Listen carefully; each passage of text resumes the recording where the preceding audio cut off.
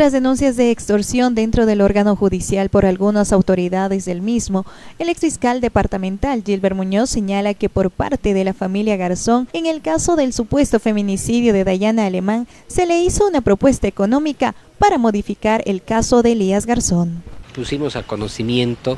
eh, en, ese momento yo era funcionario público, era fiscal departamental de Tarija y cuando yo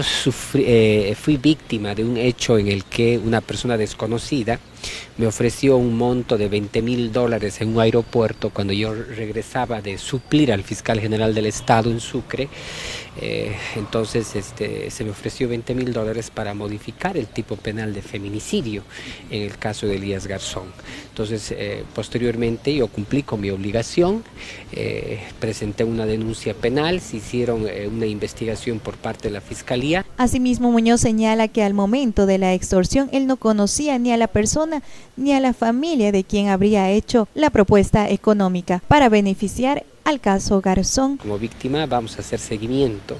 eh, a, esta situación porque a causa de esto la, familia del señor Elías Garzón me instauró un proceso por injurias y calumnias cuando yo nunca he referido que fue la familia Garzón. Yo siempre dije de que la persona que se acercó a mí era una persona desconocida porque si yo hubiese conocido hubiese denunciado a la persona con nombre y apellido. Era una persona desconocida la que me hizo esta propuesta y correspondía a un proceso de investigación